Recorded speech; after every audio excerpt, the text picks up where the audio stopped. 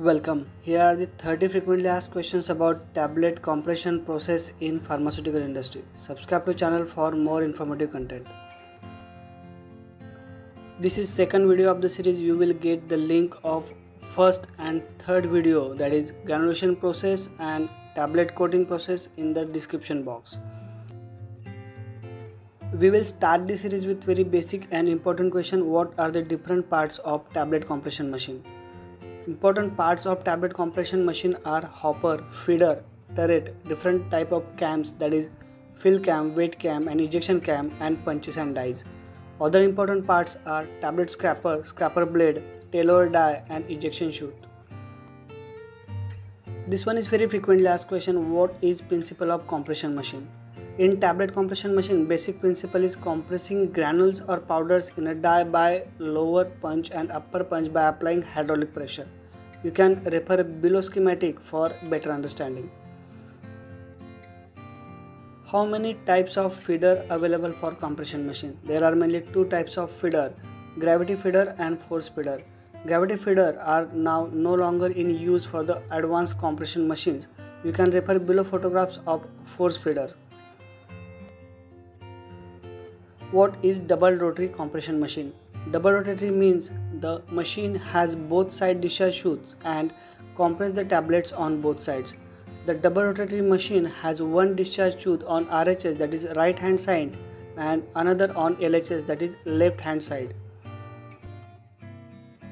What is MOC of punches and dies? Punches are mainly made up of OHNS that is oil hardened non shrinking steel that is tungsten and dies are made up of HCHC that is high carbon high chromium steel.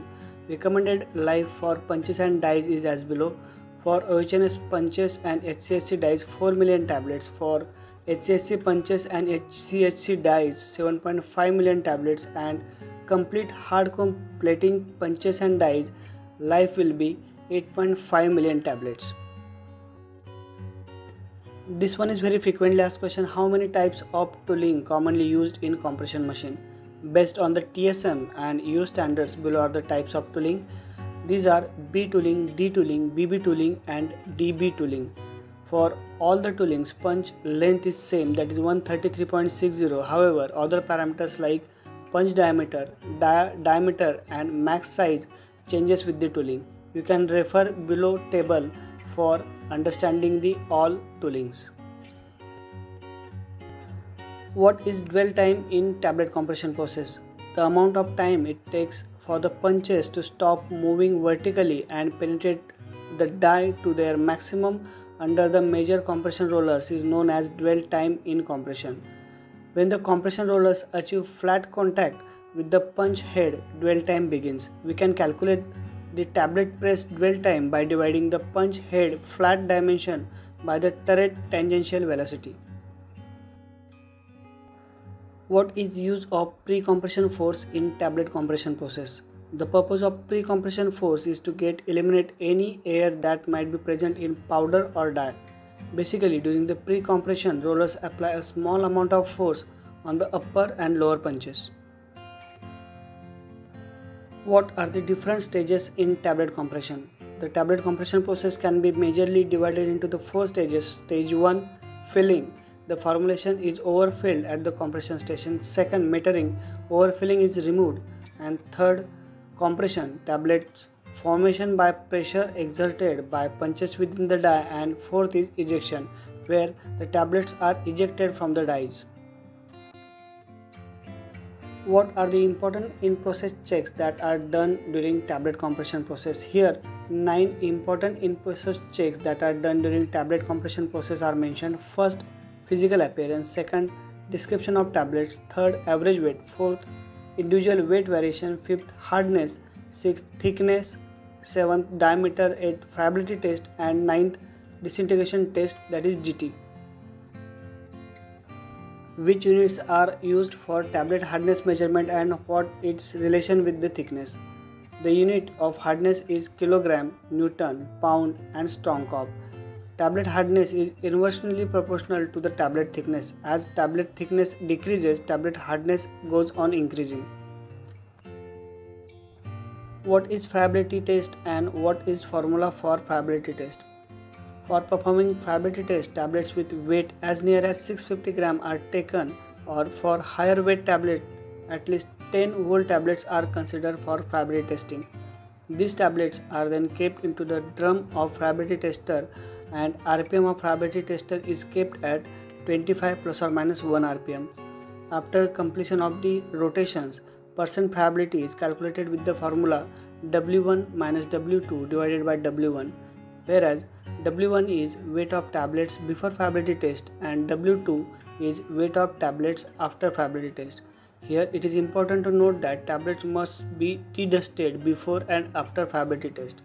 Acceptance criteria for friability test is a maximum mean weight loss from the three samples shall not be more than 1% is considered acceptable. What are the tablet defects commonly observed during tablet compression process? The following defects may be seen in tablets during compression process. These are mottling, lamination, picking, double impression, sticking, capping or weight variation. What are the weight variation limits for tablets? You can refer below table for weight variation limits as per IP, BP and USP.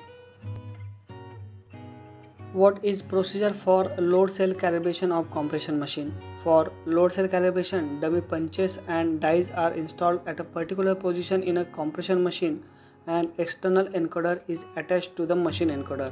After applying pressure, pressure on the PLC of machine and the external encoder should be matched. This one is most frequently asked question why double rotary compression machine always come in odd number of stations. While answering this question, two words shall become compulsorily in your answer. First, dynamic balance and second, turret balancing.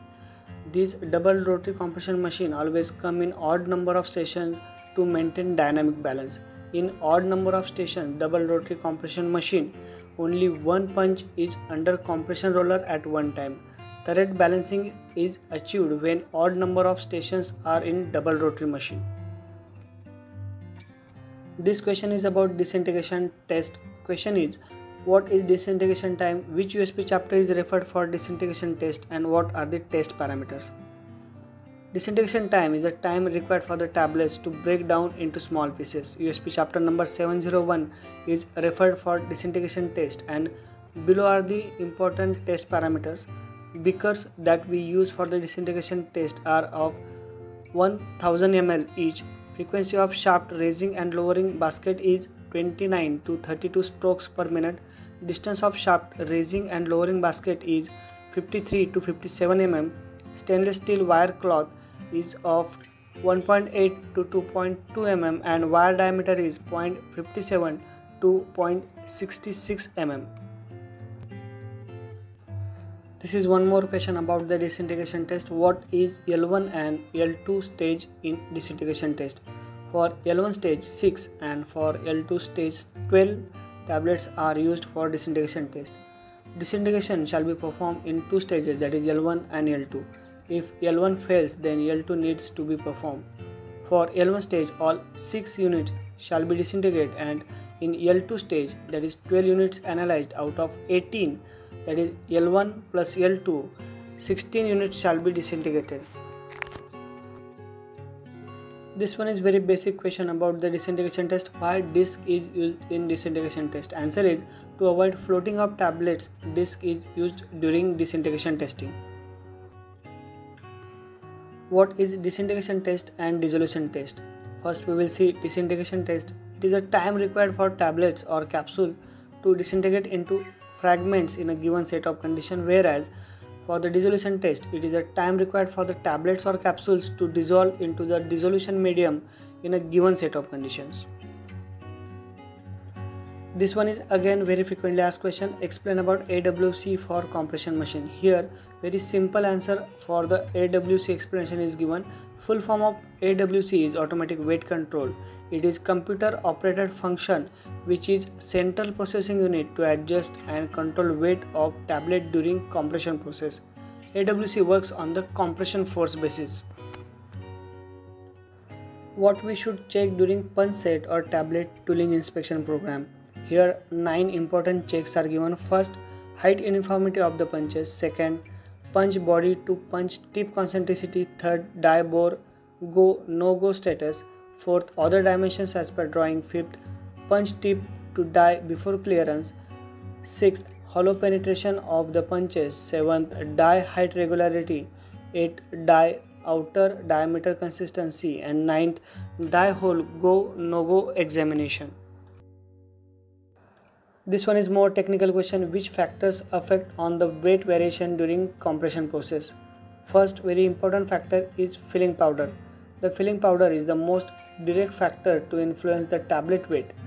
If the powder is too hard, moist, too rough or too fine, the tablet weight will also vary. Other factors are machine parts are aging and wearing, inappropriate installment of feeder, mismatching between upper and lower punch and defective punch tooling. What is use of dust cups in tablet compression machine? The purpose of dust cups is to provide secondary barrier to the upper punch seals. It prevents oil and other debris from contaminating granulation. It ensures production runs smoothly and reduces required cleaning time. Dust cups are made up of food grade material. This one is also important question. What is difference between upper punch and lower punch? A set of tooling consists of upper punch, lower punch and the die.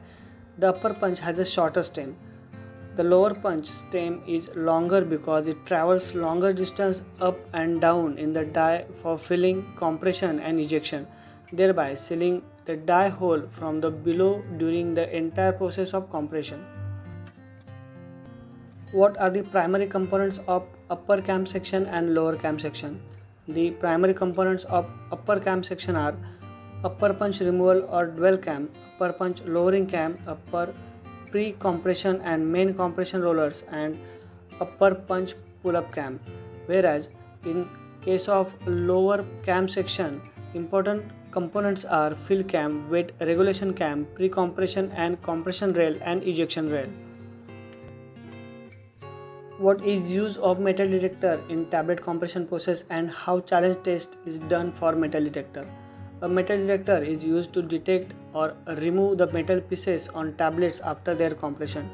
Challenge test for metal detector is mainly done before the start of the operation and followed by the every 2 hours while passing one by one three metal chips SS, FE and non-FE.